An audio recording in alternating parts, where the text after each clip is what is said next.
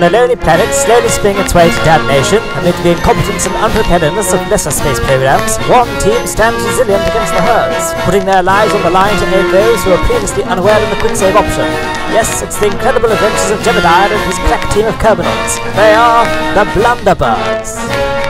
Saving the Kerbin race one stranded explorer at a time. Hello, everyone, and welcome back to another episode of The Blunderbirds, this series in which I find other players' is stranded Kerbals and subsequently rescue them. And today, we're going to be rescuing 35 Kerbals from the surface of Duna, which were sadly stranded there by Reddit user Sagebrush Ocean. So that's what we're going to be doing in this video. We once again begin in the vehicle assembly building where we're currently constructing the rescue vessel. Now, I was a little bit torn in terms of how I was going to be doing this mission. On the one hand, I thought it might be cool to do some sort of SSTO, but then on the other hand, I thought it might be cool to do something like this, which is a more conventional style rocket that does a vertical takeoff and landing on Duna and subsequently does a vertical landing back on Kerbin. And it's fairly Starship esque in design, I was told whilst I was constructing it. I actually built this while streaming the whole process on my Discord server, a link to which is in the description if you'd like to join that. I think I might do this more often going forward. It was quite good fun. I built the craft whilst the footage you're seeing me seeing in front of you now, this was all presented in real time to a little live stream on my Discord server. So that's always there if you want to possibly check it out. Don't know if we're going to do more builds like it, like to a live audience, but I think it's certainly food for thought. Anyway, as you can see, the actual spaceship part of the build is pretty much done. We've got that lower nuclear engine powered transfer stage, and then above it, we've got the uh, single stage lander that's going to perform our Duna ascent and descent, as well as our final Kerbin landing. It's got it's got capacity for 37 Kerbals, I believe. I think we were rescuing 35 on the surface, but I wanted an extra seat so we could send our own Kerbal to go and plant a little Blunderbird's flag, as well as, you know, I guess debrief the Strandies and get them ready to board the rescue vessel. Rescue vessel itself has 37 seats. There's loads and loads of room. We've got a whopping one surplus seat, so I don't know, maybe that could be the uh, the water closet seat or something. Not sure. Could be like a mini bar, mini fridge, bring lots of snacks, lots of whiskey. Uh, the sky's the limit, really, for what that extra seat could be used for. Uh, the actual uh, launcher is pretty, uh, there's nothing special about it. It's just the making history Saturn V parts, just enough to get this thing boosted into low Kerbin orbit. The upper stage can deorbit itself. It's got some parachutes as well as a probe core so that we can recover it because uh, Sagebrush Ocean's uh, save file here is a career mode save. So if we can save him a little bit of a dollar, we will do so. And of course, recovering the entire rescue vessel rather than a single crew module saves a bit of cash as well. But we are well on our way to low Kerbin orbit. Now, I did mention earlier in this video that I was trying to decide between doing a more conventional rocket like what you're seeing me launch here versus an SSTO, but I thought that, you know, the most recent Blunderbirds episode was like a 38 seat SSTO to the Mun, which, you know, the Mun has fairly similar Delta V requirements to Duna. It's only slightly less than what is required for a Duna landing. And, you know, 38 seat SSTO, fairly similar to a 37 seat one, so I thought it might be better to do something a little bit different for this installment of the Blunderbirds, which was another reason why I decided to go for this uh, rocket setup. And in fact, I have done, I've done a uh, Duna SSTO Blunderbirds before. I think I sent a 20 seat Duna SSTO to rescue some Kerbals. I don't think there were 20 stranded Kerbals, but I liked having the uh, the flex of having that high capacity, and also from a realism standpoint, you know, there's lots of room for uh, things. Certainly more than one extra seat to store all the uh, leisure activities. So that, that was there's that if you want to check out the full Blunderbirds playlist, which will probably be on screen in the form of a card. There'll also be a link at the very end of this video to the full Blunderbirds playlist if you'd like to check that out. Uh, I've also done a uh, rocket, S- uh, not a rocket SSTO, just a rocket style lander for Duna. Now I think about it, I've only just remembered this. Although that was a multi launch setup, we assembled the mothership in low Kerbin orbit before sending it off to Duna. So this is a little bit different, and I think the design of this craft is better. I mean, that mission, the lander only had space for something like six Kerbals. This one is obviously a little bit more than that. So I think this is a more a better executed mission uh, in most senses of the word. So as you can see, we have detached that lower second stage. Now it's performing our circularization burn using those nuclear engines. And just as we complete that, we're then going to switch back to that second stage just to make sure that it, you know, safely lands back into the ocean. Ocean's a fairly easy place to land stuff like this that doesn't have any landing gear because the ocean kind of cushions the blow of the landing really. So there you go the parachutes. Then just before we touch down, I'm going to fire up that engine. I think I got a bit carried away and we ended up ascending again briefly, but as you can see, I got things back under control and we touched down, no problem. We recovered it, saved our Blunderbird E Sagebrush Ocean little bit of cash. But now it's time to plot our course to Duna. Now, I know it's become a bit of a meme because I say this every time I do a Duna mission, but I'm not going to stop saying it because this might be somebody's first time watching a Matt Lowne video. And so, to get a Duna encounter, you want to launch at a point where, if you were to draw a line from Kerbin to the sun to Duna, the angle that line forms with the sun should be about 45 degrees. If you're not there, just go to your tracking station, hit up that old time warp, and just wait for such a time to, you know, arrive. And that's how you can get a really easy Duna encounter from low Kerbin orbit. You might not get one as quickly as I just did because I've done hundreds of Duna missions probably at this point, so I've kind of got that uh, muscle memory, for want of a better word there.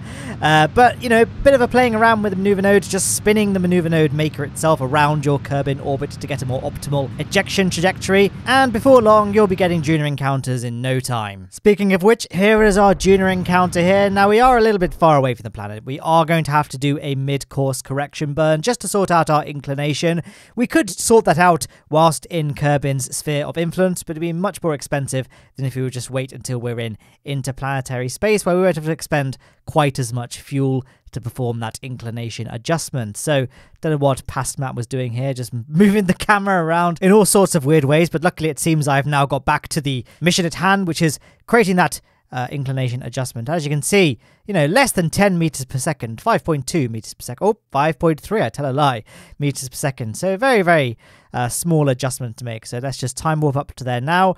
Uh, time warp for me is very fast, uh, especially for you guys actually, because I've sped this footage up to be four times faster than normal rate. But I've also got better time warp installed, which lets you have slightly higher than normal time warp rates. You can set your own custom rates.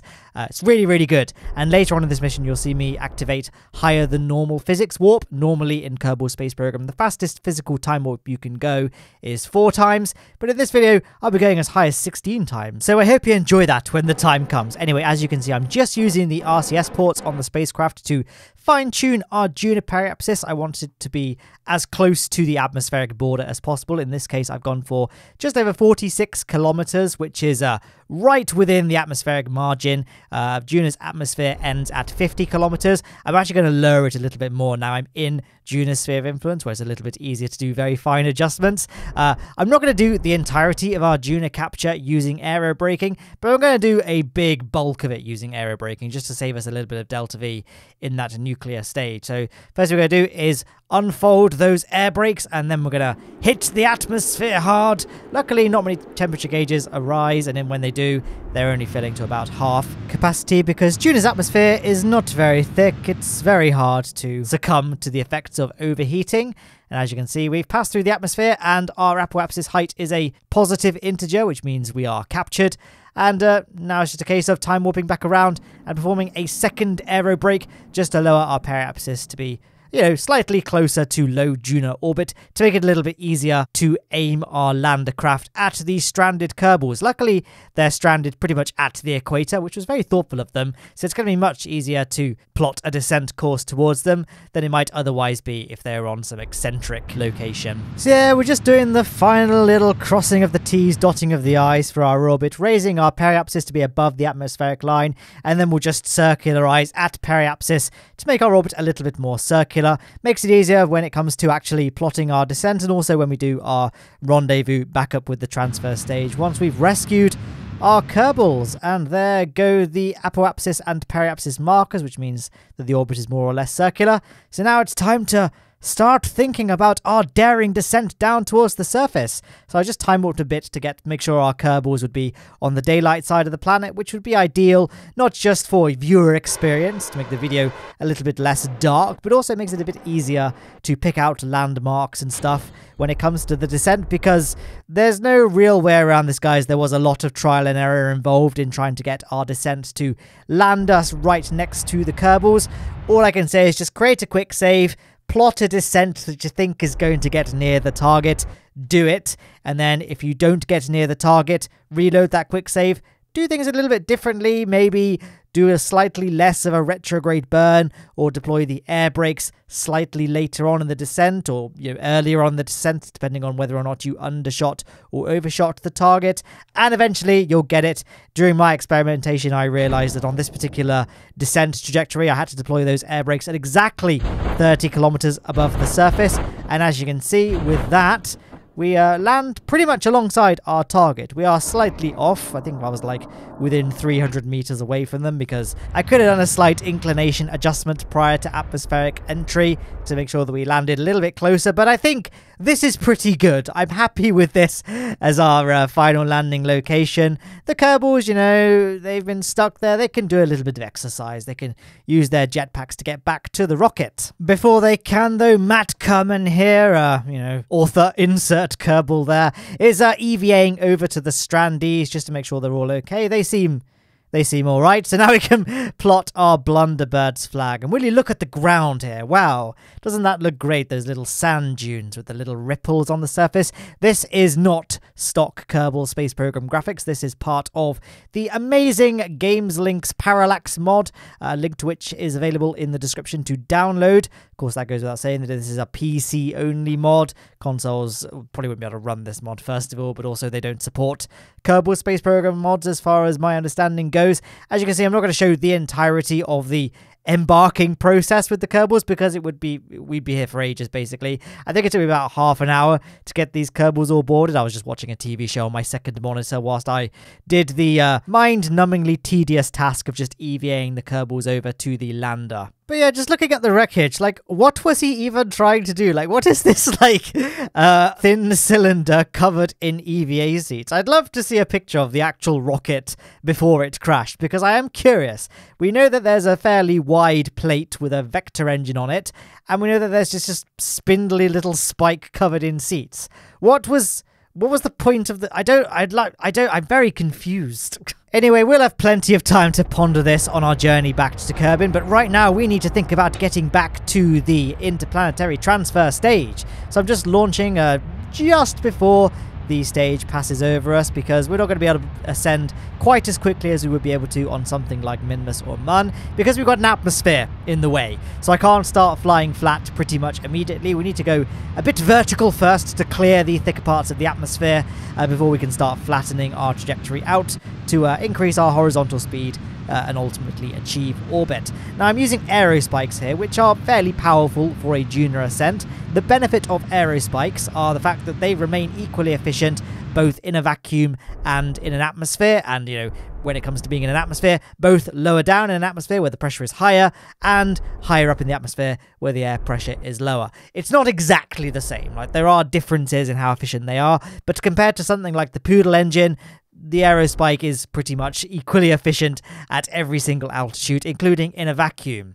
Uh, and it's also beneficial because although Duna's atmosphere is fairly thin, where, you know, to the point where we could get away with using a vacuum optimized engine for our ascent and descent, uh, we are going to be landing back at Kerbin. And while this thing does have parachutes, they're not going to be enough to slow this thing down uh, against Kerbin's massive gravity. So we're going to need the aerospikes for our Kerbin landing. And, you know, Kerbin's air pressure is much higher than Duna's at sea level. So it's good to have an engine that still provides a nice amount of kick whilst in higher air pressures.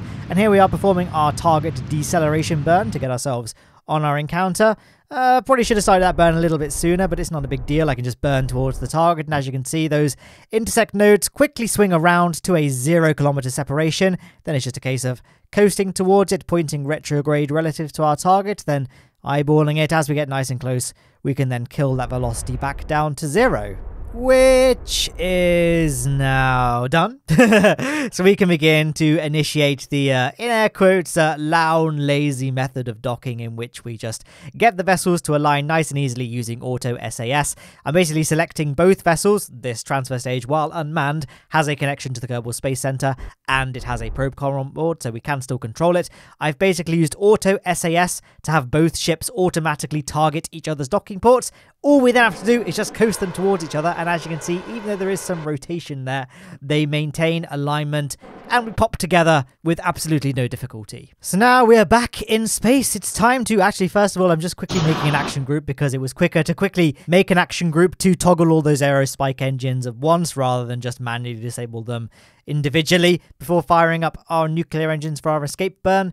Uh, and as you can see, in terms of our escape burn, we're not at an optimal position to get a Kerbin encounter, but rather than waste time in Duna orbit like some sort of peasant, I decided to simply go ahead and execute a burn that will lower our solar periapsis to intersect Kerbin's orbit. Once we reach that point, we can then create another maneuver node to force those intersect nodes to align to get a nice early Kerbin encounter that will happen before we reach a kind of, in air quotes, natural Kerbin transfer window. So clearly not as efficient, but it gets us home a little bit faster, and we do have the Delta V in that transfer stage to perform this without worrying about running out of fuel. Contrary to what the Delta V readout of the game says, though, uh, it says we've only got, you know, just over 500 meters per second left in that transfer stage. This is a uh, fake news, guys. Uh, in reality, although I don't know the exact figure, we had something like 2,000 meters per second remaining in that transfer stage. I think the game just got confused because we've got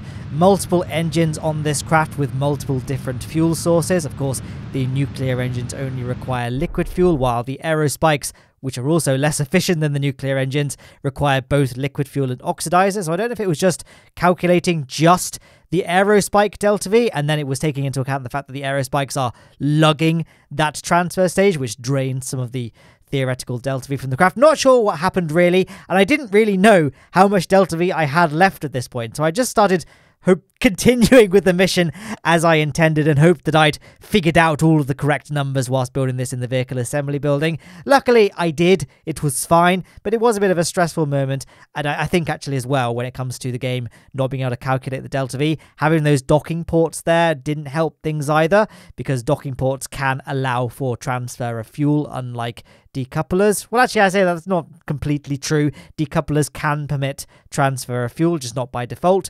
And likewise, you can disable fuel crossfeed in the decouplers, which I did, but I don't know if that just I don't know if that added fuel to the fire when it came to the game not really knowing how much Delta V I had left. Either way, it wasn't a big problem. So if you do see like with, with this burn, I can see the Delta V numbers uh, of the game, so the Delta V readout above the staging window is actually increasing as we perform this burn, although now it's suddenly dropped. It's fluctuating, okay? It's yo-yoing. I don't know what really happened, but you can see our true Delta V readout in the top left-hand corner of the screen on the Kerbal Engineer panel. Uh, uh, where it says delta V and in brackets current total. Again, even that's not completely accurate because we have multiple engines with multiple fuel sources that could be activated at any point, but it gives you a better idea of a, a kind of a more accurate representation of how much Delta V we had left in this spacecraft. But here we are encountering our home planet, and as we drop out of the map screen, we can see that little blue, pale blue dot in the distance. So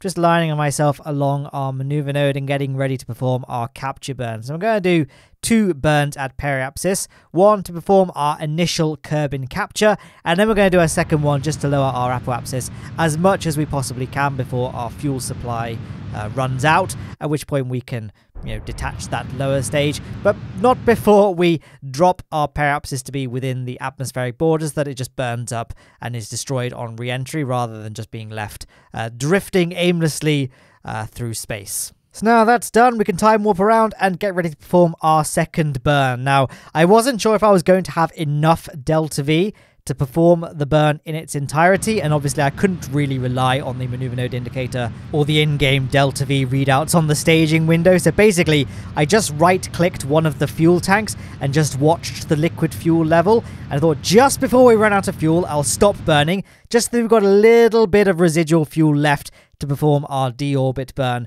for that transfer stage. Of course, our lander stage has engines and fuel remaining in it, so that can uh, do the rest of the uh, burns we need to do to perform our Kerbin landing. Uh, so we are just performing our retrograde burn with the transfer stage there. Goodbye, transfer stage. You've served us well. And now we come to what was probably the hardest part of this mission, and that was our Kerbin landing. Now, it's not like difficult by default, but I set myself the stupid goal of trying to land on the Kerbal Space Center Peninsula. Like, you know where the Kerbal Space Center is. The actual area of land around it is very flat. It's got a slightly different texture to it. I wanted that vicinity to be our land landing location just because I didn't I couldn't really be bothered to get this accurate enough to land on the helipad because I only have like uh, like 2 days in a week to make these videos and 2 days is not very long when I'm working for most of that day and I've got to like plan the mission, build the mission, execute it. I didn't really have time to like faff around too much to get myself accurate enough to land on like a helipad or a launch pad or something. So I thought, you know, just landing on the little peninsula on which the Kerbal Space Center sits would be a good enough compromise. However, this still proved to be fairly difficult it took me a couple of attempts to get our actual uh, descent trajectory optimal, but we got it in the end, so I hope you enjoy the next few minutes of video. I believe this is something that EGSA does as well. Last time I watched one of his streams anyway, I just remember him mentioning that he always aims to land his craft, no matter what, to always be on that little peninsula on which the Kerbal Space Center sits. And so I'll be darned if we don't at least try to do that uh, in this mission. So just performing a very slight retrograde burn, our periapsis height is at a fairly conservative 24,000 meters above the surface, although that's now rapidly dropping as we reach the thicker parts of the atmosphere where we're going to start seeing those flames lap up the side of the booster.